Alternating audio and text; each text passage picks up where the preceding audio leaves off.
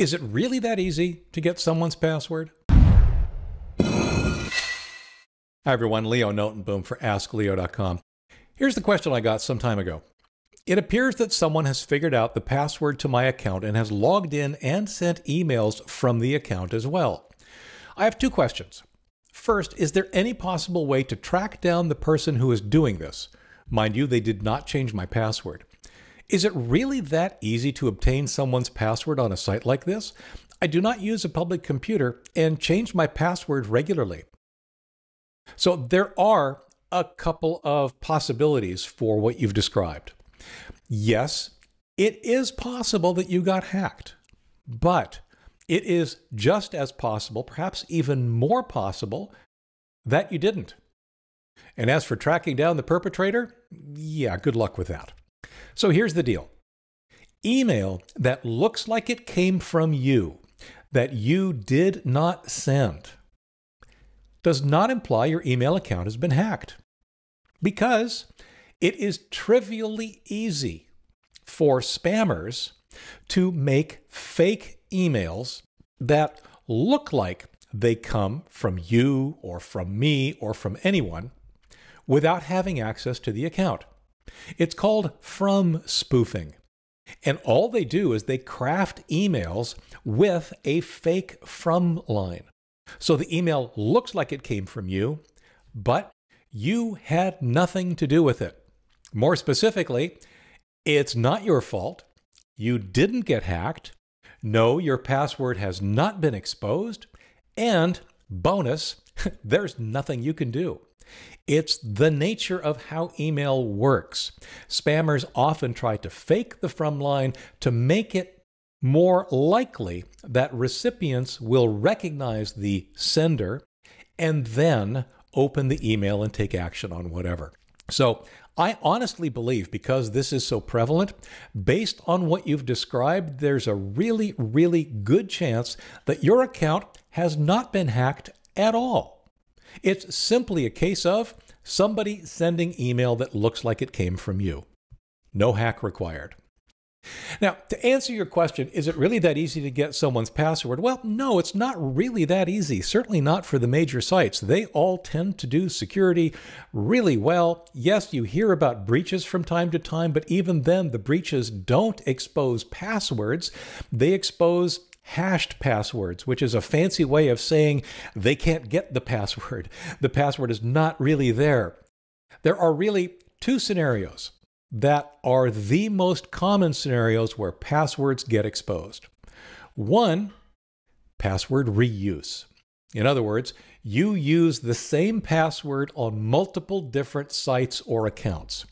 That puts you at the mercy of the site with the worst security. If that site then is doing security wrong, or if they get breached in such a way that your password really does get exposed, then your password for all the other sites where you used that same password is also exposed. Regardless of how good their security was, you're at the mercy of the worst security. So that's an easy one. Don't reuse Passwords. Once you've used a password, never ever use it again and never ever use it on more than one site. The second one, phishing. And unfortunately, phishing is getting a little bit more sophisticated. It's it's happening to more and more people. We really do need to continue to maintain our high level of skepticism. A phishing email simply asks you, hey, this is email that looks like it's from a legitimate service, maybe even a service that you use. It says, hey, there's a problem or there's something, you need to go to this link to examine something related to your account. Once you get to that link, there's a very familiar looking sign in page. It asks you to enter your username and password, which, if you're not paying attention, you do. You've just handed your username and password over to a hacker. They can now access your account, or at least they have your password. The trick is that that was not a legitimate site. That was a site pretending to be the service you use. And there are ways to detect that, most commonly paying very careful attention to the URL, the HTTPS stuff that's in the address bar of your browser, and making sure that it actually is the site you expect it to be. Another more common way of avoiding phishing emails is never click on the links.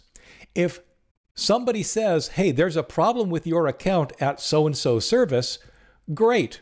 Ignore the email, go to so and so service yourself, and check to see if there really is a problem.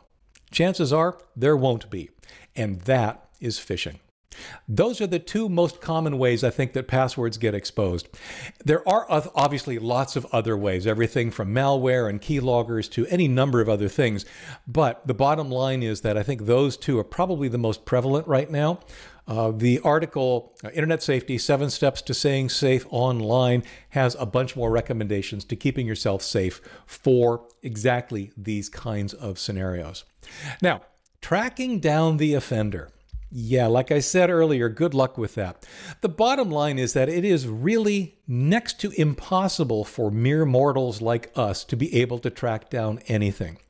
If it's spam, if it's somebody who's faking their email to look like it's coming from you, they don't have to be doing it from their own machines. They don't have to be doing it from pretty much anywhere. They could be doing it from a botnet.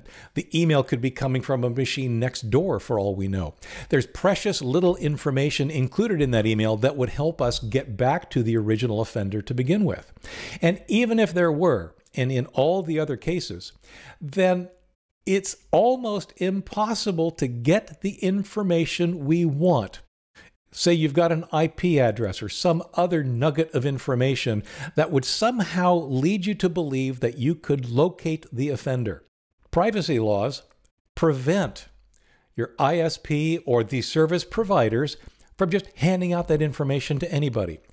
If you're trying to track down somebody who's doing some of these things to you, the only way you even stand a glimmer of a hope is to involve law enforcement. Typically, what's required then are subpoenas and court orders to get the information from the ISPs and the service providers. And guess what? You and I are small fry. The law enforcement officers that we're dealing with, the police, even the FBI here in the United States, depending on where you are on the planet, it could be any number of different organizations. Honestly, they're probably too busy to deal with our one off situation. There is precious little we can do. That's why I say it is extremely, extremely unlikely, nearly impossible to track down who is behind these kinds of things. Sorry, I don't have better news on that front. But hopefully now you understand exactly what's been going on in your case. And like I said, to me, it feels like you've not been hacked at all. You probably are just seeing some spam. And the really good news here is that, yeah, you know, passwords really are pretty hard to get. For updates, for comments, for links related to this topic and more, visit askleo.com slash 2426. I'm Leo Notenboom, and this is AskLeo.com. Thanks for watching.